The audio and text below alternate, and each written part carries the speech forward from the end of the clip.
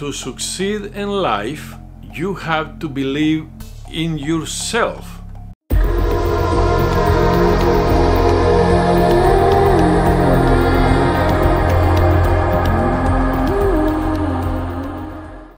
Please like and subscribe to help my channel to keep going and open the eyes of millions of people that are in the chains of religion. Religion and success in your life.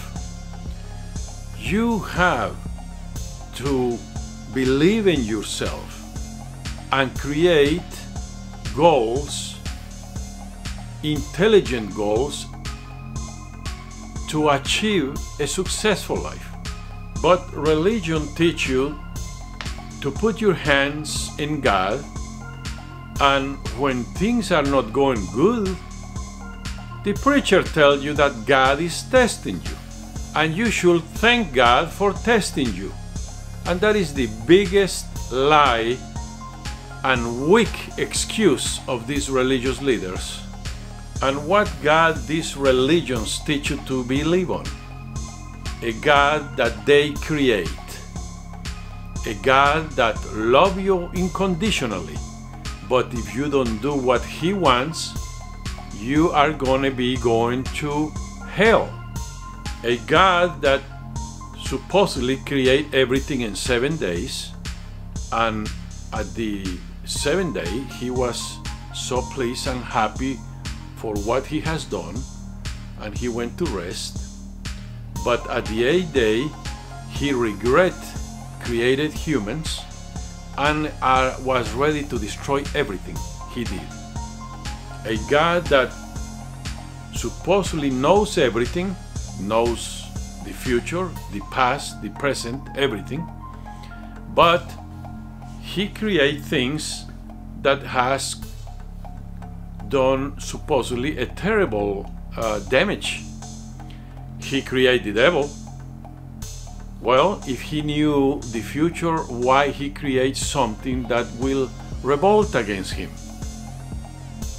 Then also he creates humans and put them in this uh, garden. But in the middle of that garden, he put a tree that he don't want humans to touch or eat out of it. Even though he knew, because he know everything, that eventually humans will touch it and eat out of that tree. Then the question is why he put it there if he knew the devil will revolt against him, why he create the devil? That can be mean two things. One, he don't know what he's doing. If that God exists, then how we can trust on him? Or two, that book called the Bible is full of stories and fantasies created by a human. Because that God that is happy one minute, angry another, create things, and later on he regret creating them, sounds more like one of us.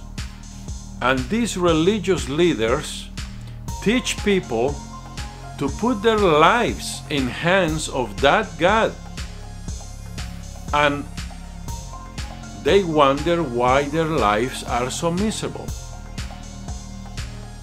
And I tell you why. Because you and any of these religious people that has put their hands on that God that religion has created has put their future, their lives on fantasies.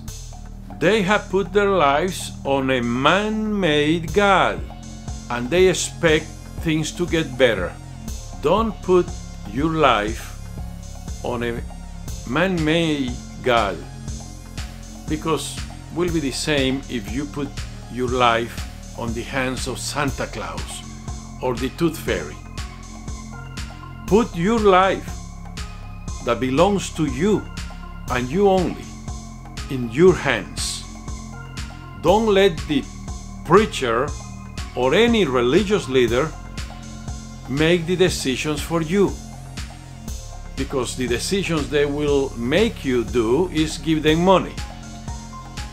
You have to create a plan of how to achieve your goals.